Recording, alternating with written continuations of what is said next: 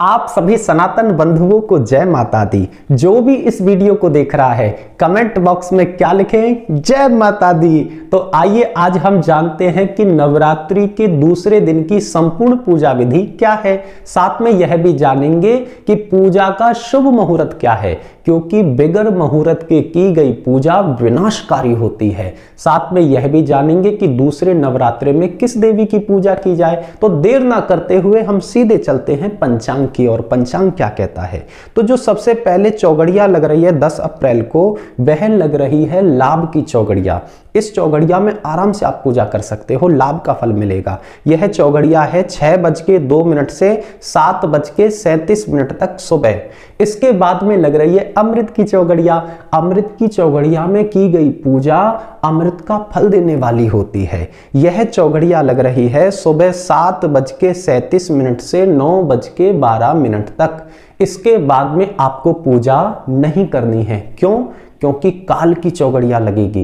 काल की चौगड़िया में काल जैसा फल मिलेगा। यह चौगड़िया कितने बजे से है? सुबह नौ बज के बारह मिनट से सुबह दस बज के सैतालीस मिनट तक रहेगी। इसके बाद में आप पूजा कर सकते हो, क्योंकि शुभ की चौगड़िया आ जाएगी, वह शुभ का फल देगी। यह कितने बजे से है? सुबह दस बज के सैतालीस मिनट से दोपहर बारह बज के बाईस मिनट तक। इसके बाद तो बिल्कुल भी पूजा नहीं करनी है कान पकड़ लेने हैं। वो क्यों? क्योंकि राहु काल लग जाएगा इसके बाद। राहु काल से जितना हो सके बचना चाहिए। क्यों? क्योंकि राहु केतु जब अपनी पर आते हैं ना तो ग्रहण तक लगा देते हैं, कितनी मुसीबत हो जाती है। अब आते हैं हम सीधा कहा कि किस देवी की पूजा करनी है हमें दूसरे नवरात्रे में। तो वह देवी का नाम है माँ ब्रह्मचारिणी। बोलो, ब्रह्मचारिणी मैया की जय। अब सीधा आते हैं अपनी पूजा की ओर कि पूजा की संपूर्ण विधि क्या है? देखो, आसन बिछाना है। बैठ जाना है, जल छिड़कना है अपने ऊपर, माता के ऊपर जल छिड़कना है, माता से प्रार्थना करनी है, माता हम पवित्र होकर के बैठे हैं, फिर भी कोई अपवित्रता रह गई हो तो आप उसे पवित्र कर दीजिए, आपके चरणों में बारंबार प्रणाम है। इसके बाद में क्या करना है, माता को स्नान कराना है छीटा दे करके, और मन में भावना रखनी है कि मैं ब्रह्मचारिणी मैया को स्नान करा रही हूँ या स्नान करा रहा हूँ, इनका स्वरूप कैसा है, क्रॉम पे देख लेना, स्वरूप इस प्रकार से है कि व्हाइट वस्त्र में है माता, कमंडलू हाथ में है और तुलसी की माला लिए हुए है। बहुत ही सुंदर स्वरूप है ब्रह्मचारिणी मैया का। इसके बाद में क्या करना है? मूली तोड़नी है। मैया के आगे चढ़ानी है। मैया से प्रार्थना करनी है, हे माता, हमारे पास में यही वस्त्र है, हम आपको अर्पित कर रहे हैं। इसके बाद में जो मैया को सबसे ज़्यादा पसंद है, वह है मरियागिल चंदन या कुमकुम। या तो कुमकुम लगा दो, आपके पास में कुमकुम है, और या फिर मरियागिल चंदन है तो मरियागिल चंदन माता को अर्पित करना है। इसके बाद में मैया को देखो, लाल पसंद है तो लाल गुलाब की माला लानी है और मैया को पहनानी है। हाथ में पुष्प लेने हैं, अर्पित करने हैं। इसके बाद में दीपक जला देना है। दीपक जलाने के बाद में हल्का सा जल छोड़ देना है मैया के सामने।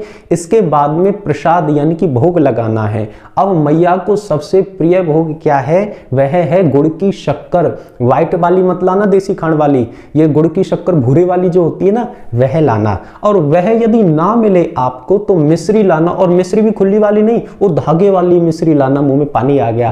तो धागे वाली मिश्री लाना। इसके बाद में क्या करना है, संकल्प करना है। थोड़ा हाथ में जल लेकर के छोड़ देना है और फिर मैया से संकल्प करना है। बगैर संकल्प के पूजा अधूरी रह जाती है। हाथ में जल लेना है। संकल्प बिल्कुल सिंपल भाषा में बोलना है। जैसे सीधे साधे हम, वैसे सीधी साधी हमारी मैया। तो कैसे बोलेंगे संकल्प? हाथ में जल लेकर के बोलना है, मैया, ये क्षेत्र है और इस क्षेत्र में मेरा ये मकान नंबर है। आज ये तिथि है, शुक्ल पक्ष है, चैत्र मास है और मैया मेरा नाम ये है, मेरा गोत्र ये है, मेरे पति का नाम ये है और ये गोत्र है। तो माता से कैसे प्रार्थना करनी है? हाथ में जल लेकर के कि, हे माता, मैं नौ दिन की पूजा कर रही हूँ, या नौ दिन की व्रत कर रही हूँ, या दुर्गा सप्तदी का पाठ कर रही हूँ, आज उसका दूसरा दिन है। हे ब्रह्मचारिणी माता, मेरे परिवार पे अपनी कृपा बरसाए रखो। समस्त जन पे, समस्त भारतवर्ष पे, पूरे विश्व पे अपनी कृपा बरसाए रखो, अपनी छत्र छाया बनाए रखो। इस प्रकार से कह करके वह संकल्प छोड़ देना, यानी जल माता के सामने छोड़ देना है। अब माता को सबसे प्रिय पाठ है उसका नाम है देवी कवच। उसका पाठ करना है। अब आप कहोगे, हमें तो आता नहीं तो चिंता क्यों करते हो? राधे भाई, है ना?